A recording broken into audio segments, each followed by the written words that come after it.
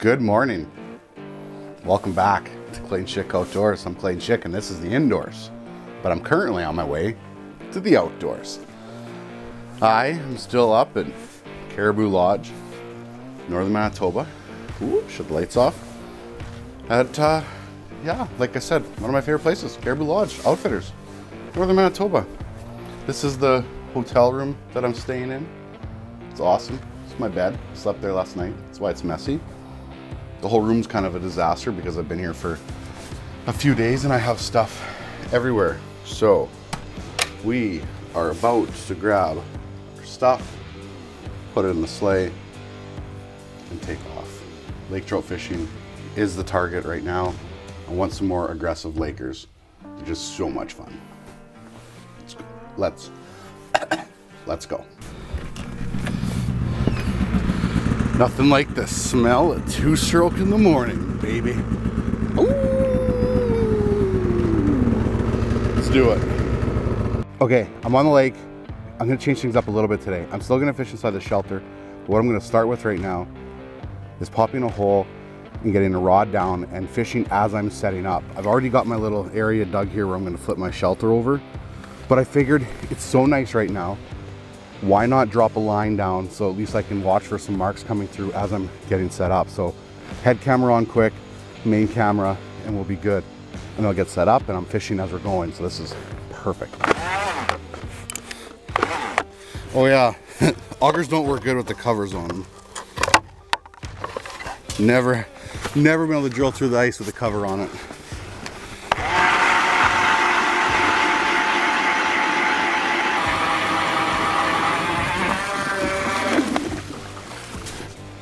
Okay, at least now I got that set up. I see a mark, all of a sudden I can uh, can fish for them. Now we gotta get shelter set up.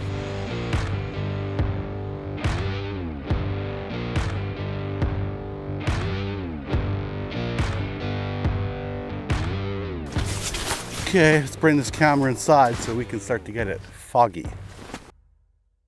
Oh, look at this mark. Came up went to my chum though.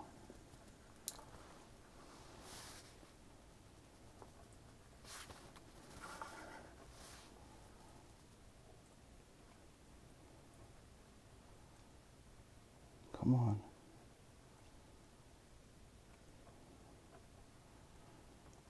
Come on. Here we go. Come on. Got him. Got him. Nice. Fish on, finally. Yes, 1040. That's not too bad considering how many fish I have had come through. I just dropped some more chum down and that fish actually had come up and looked like he, was, he ate a piece of chum and then moved on to my spoon. I feel like I'm gonna lose him still. It just feels like the way the morning's going and I'm marking fish and it's not catching them. I feel like now I could lose a lose them so quick. I'm trying to loosen my drag just a little bit to give him some room here. A boy. Nice. I've had lots of marks come through today, like lots. It's been really active. I've had two bites maybe. They've been super active charging baits and then just putting on the brakes as they get close to me. Oh yeah, come on baby. Come on. Here we go. There we go. Nice. Nice Laker. I love the average size here. The average size here is so awesome. Like so awesome. Orange fin. Beauty. Oh, easy girl. We'll get you back here in a little bit. Spoon hanging out of its mouth. Oh, it's so perfect. Hardly hooked. Be a good release. One more look at that big, beautiful I guess that's not big. It's it's nice. Don't get me wrong. It's a gorgeous fish. It's not a giant, but it's probably, mm, I don't know, 20, 29, 30 inches again. Just the average size here is so good. Yes. It's taken a while. Went back to that slab spoon again and actually, I'll have to, this one's all wet and demolished here, but that looks like all meat on there. It's not. It's, uh, a lot of marabou feathers. I kind of tied some on a treble. Ooh, another mark down there. Another mark at 24 feet. Let's drop down. Could be the. Oh, look at that. Mark, come up. Just flew, flew at me. Come straight up. That wasn't even the mark that I was dropping to. Come on. Come on. Tighten that drag for the hook. Here comes another one from the bottom, too. We're halfway. Come on. Oh, come on. Well, that was like insane, like right away.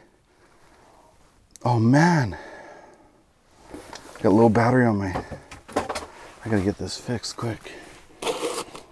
Okay, well, that was a fish and then two marks right after, so things are looking up. Things are looking up. Well, I apologize for the no head camera footage on that one. I don't know when my camera died, but I definitely was not recording.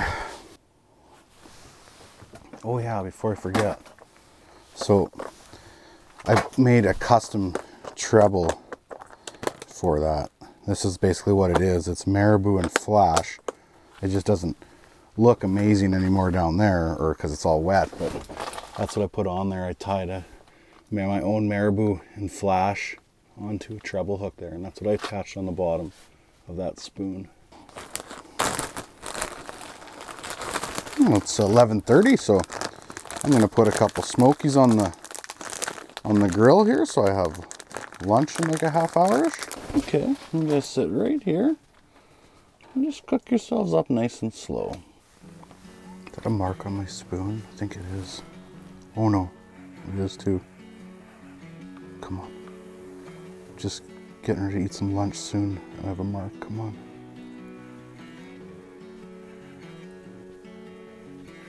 He's bumping it, but he's not crushing it. Man, they've been so tentative today. Like they're not, they're, they're chasing hard, but they're not opening their mouth and eating. I'm gonna drop it right past him. He's following it down. Stop though. Okay, let's try this again. Again. Come on. Come on. Oh, he bought again. Come on. Got him. Got him. Got him. Nice. Worked for that fish a little bit. That was deadly. That was deadly. That was, whoa, whoa, whoa. He turned right around on me quick. Whoa. Come on. I hate when they're so head shaky because that's when you're going to lose them to start with right away. Oh, come on, baby. I want to get down to my transducer right away. Come on, this one's putting up a good fight.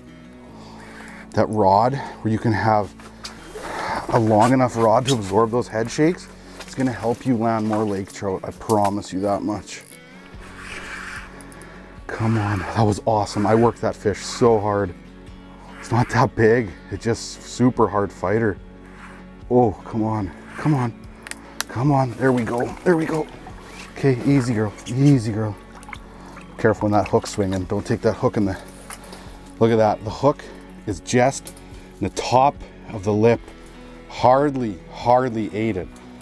That's one of the smaller ones that I've caught here in the last few days. That's pretty crazy. Hey, don't you drip slime on my smokies there, Mr. Trout. That's, that's a smaller one.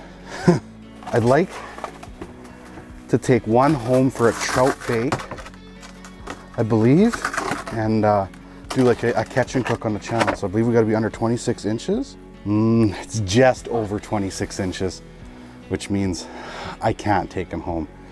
That, that shows you how big those other ones are in terms of size. when this is the smallest one I've caught in the last few days and it's 26 inches. So that's, I haven't measured the other ones. But when I'm saying they're 30 inches or 31 inches, I'm obviously not lying, right? That's 26 inches and that's the smallest one I've caught. But that was awesome. That was really awesome. I had to work that fish a little bit more. Like I was messing around with the smokies and I looked over and there was a mark on my spoon. Brought him up, didn't eat, took him down, brought him up and he ate. Mm. Mark. Mark.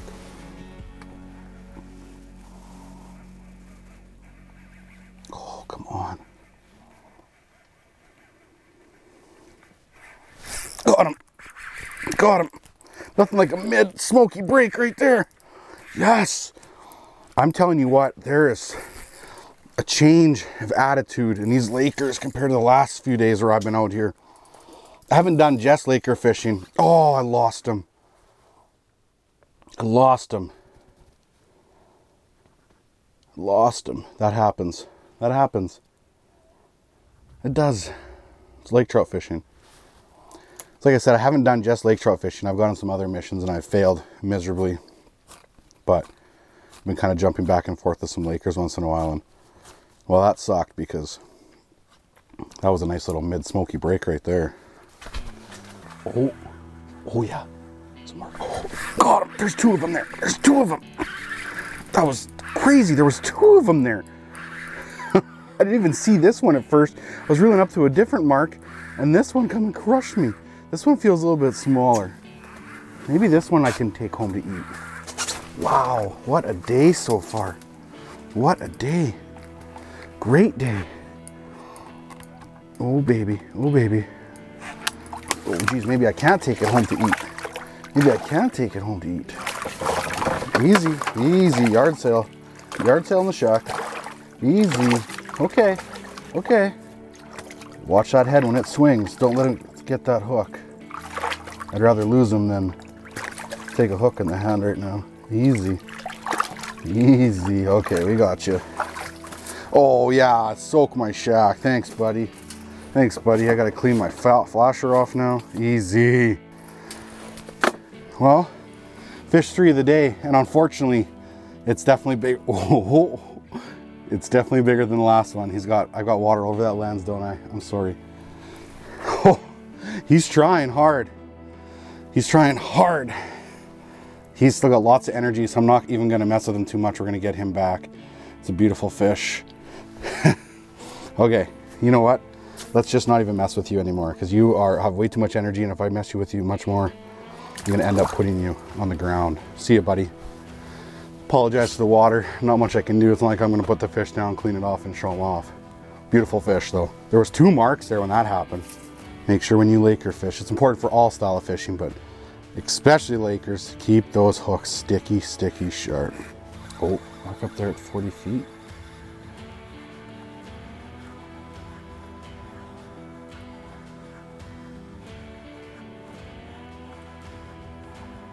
Oh, it's chasing. Oh, it bumped it. Come on. Here it comes.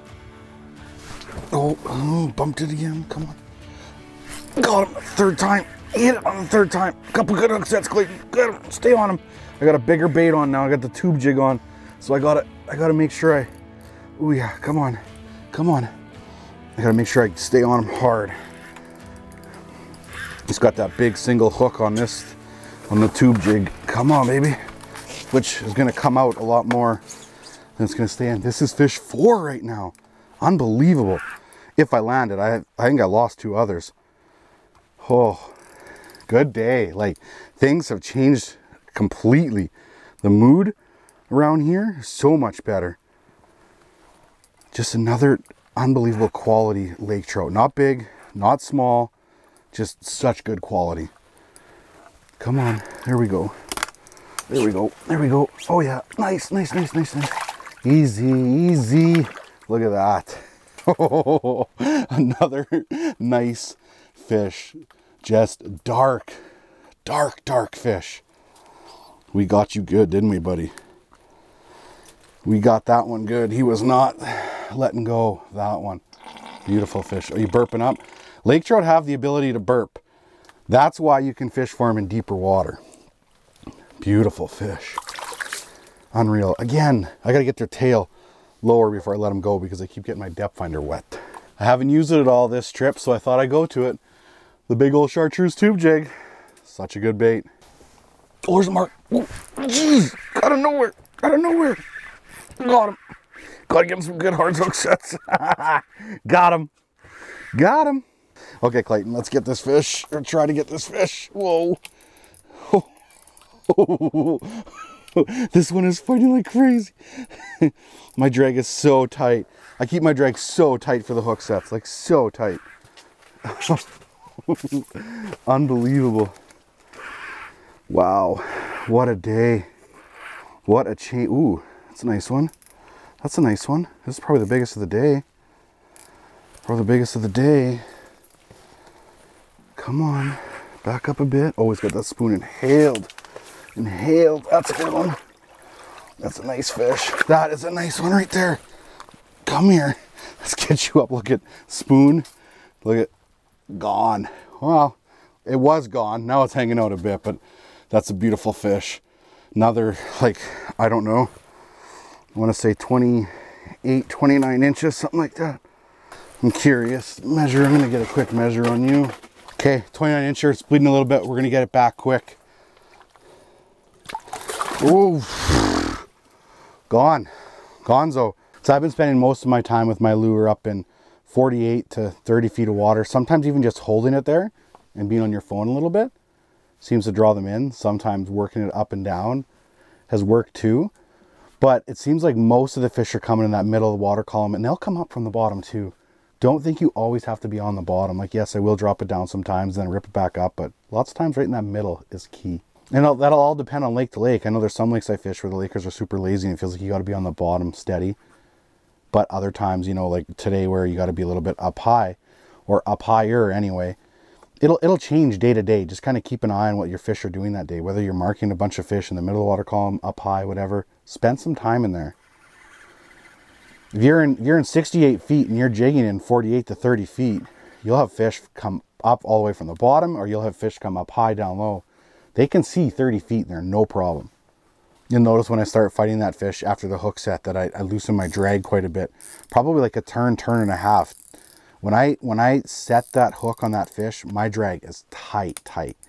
Those Lakers have a super bony mouth, and a lot of times it's not only are you you're trying to bury that hook in there they're also coming up with that lure at the, same at the same time so keeping a lot of force on that fish that hook set i can't stress that enough get a good hook set reel down give them one more bury that hook loosen your drag down and fight the fish but if your drag slips on that hook set chances are that hook's not even to go into his mouth a little bit of slip is okay but not a lot and sharp sharp hooks like i talked about earlier i always have a file right here handy, ready to go. Touch it up every once in a while. Lakers have a bony mouth, and when you're down 30, 40 feet, obviously I'm using braided line and there's no stretch, but there's a little bit of give right in the rod because I'm using I'm using a Mr. Big 43 inch heavy. It has lots of backbone for fighting that fish, but it also has enough to bury that hook. But I want that kind of in between where I don't want a broomstick. If you get a broomstick, yeah, you're gonna bury the hook, but the chances are the rod will have no forgiveness and you're going to lose most of your fish as you're fighting them anyway. You want a rod that sets the hook, gets it buried into them, and then keeps them connected. Like I said, this is a 43 inch heavy Mr. Big from Frostbite. They have another rod that I have coming here too. I just haven't used it yet, a 46 inch. I think it's called the Slugger. That's going to be for my, my tube jigs. Not that you can't use a tube jig, a two ounce tube jig on the Mr. Big. I just want something just a little bit more and that's kind of why they made that rod this year was i think for me so you guys better start buying it because uh, if not i might lose my job you know no i won't lose my job but i'll probably have to buy all the rods myself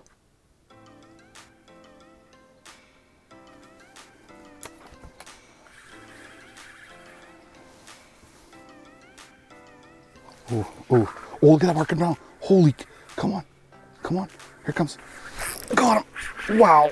Wow. I was just reeling up and I was literally going to put my rod down too and let it dead stick for a bit. And this mark comes straight down at it. Oh, easy. Got to stay on top of them. Hope it runs back down. There we go. Come on. Nice, nice. Once it runs a bit, I can grab my transducer, but for the most part, I have to stay on top of them. They're just like so fast, up and down, up and down. You just have to stay on them so aggressively. Wow, that was insane. Man, bite is on right now. Bite is on. The average size here is just unbelievable. Man, I love this place. Average size is so good. So good. Easy, girl. Easy. Okay. We got you. We got you.